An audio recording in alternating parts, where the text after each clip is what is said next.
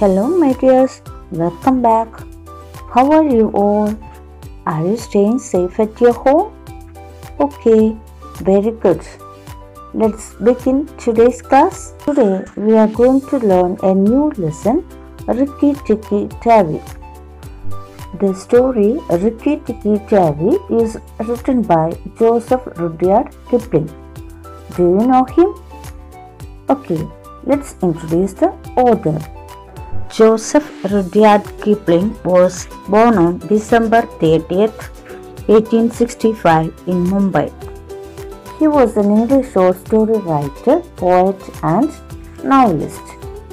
Kipling is best known for his works of fiction, including the Jungle Book. It's a collection of stories which includes Rikki Tikki Tavi.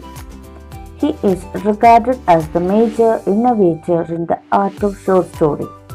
In 1907, he was awarded the Nobel Prize for Literature.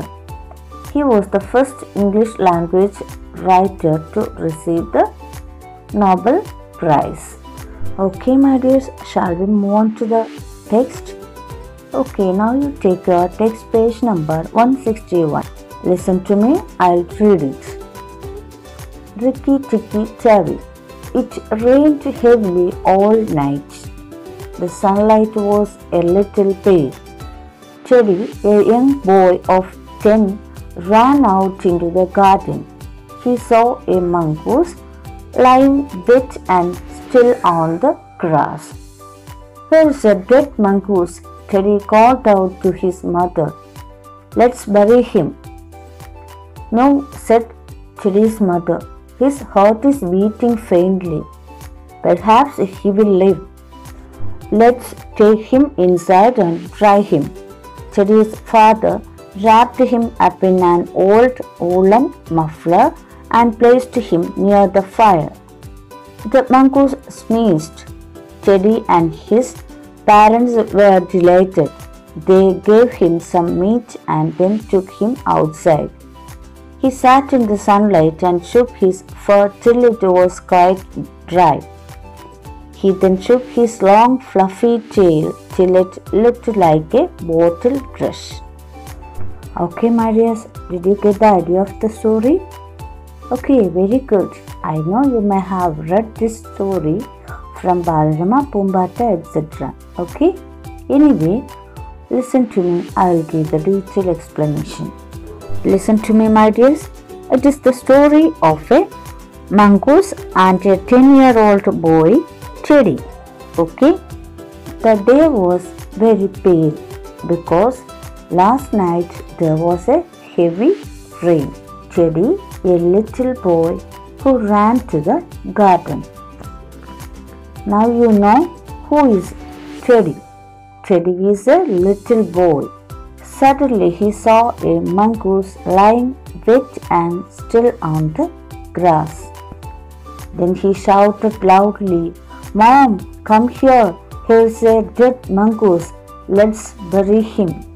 Bury means to put or hide dead body underground. Okay. By hearing this, Teddy's mother came into the garden. Then she said that now its heart is beating faintly. What do you mean by faintly? Faintly means softly. Maybe he will live, so we can take it inside the room. Then Teddy's father wrapped it with a piece of old muffler and placed it near the fire. After some time, the mongoose sneezed. Sneeze means to have air come suddenly and noisily out through the nose and mouth. Then Teddy and his parents felt very happy and they gave him some meat and took him to the outside house. He sat in the sunlight and shook his fur till it was dry. Fur means the soft mass of hair that grows on the body of animals. And it shook his long fluffy tail till it looked like a bottle brush. Have you seen bottle brush? Look here. This is the picture of a bottle brush which we used to wash water bottle, feeding bottle, etc. Here the author compares the tail of the mongoose like a bottle brush. Children, what do you mean by fluffy? Fluffy means feathery body being very soft and silky with hair. Okay, my dears, let's move on to the next passage. Listen to me. Soon he started taking interest in Teddy and things around him. He followed Teddy around the house and into the garden. He slept in Teddy's room at night. In the mornings, he came for breakfast sitting on Teddy's shoulder. Teddy gave him a banana and a boiled egg. The mongoose enjoyed the breakfast. Okay, my dears, listen to me. I'll give the detailed explanation. Now the mongoose became very smart and it was very interesting Teddy. It followed Teddy everywhere and also he slept in Teddy's room. Every morning he came with Teddy for breakfast. Teddy gave him a banana and a boiled egg on that day. The mongoose felt very happy and it enjoyed the life with that family. Okay, my dears, listen to the next passages.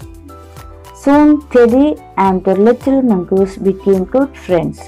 The mongoose ran through the tall grass crying, Ricky tick, ticky ticky tick. Teddy used to laugh at him and started calling him Rikki Tikki Tavi. One morning, Rikki Tikki was wandering about in the garden. There he saw Nag, the big cobra, and his wife Nagaina. Cobras and mongoose are age-old enemies. Although Rikki Tikki was young, he knew that he, the main objective of a mongoose's life is to fight and kill snakes. Okay, my dears, listen to the detailed explanation. We know now Teddy and Mongoose became great friends. They played in the garden very happily. The mongoose ran through the tall grass crying, Ricky, ticky, ticky, ticky, tick. So Teddy used to laugh at him and started calling him Rikki Tikki Tavi. That's why he got that name. Okay. One morning, Rikki was wandering around the garden. What do you mean by wander? Wander means to move here and there in an aimless way. Suddenly, he saw a nag, the cobra, and his wife.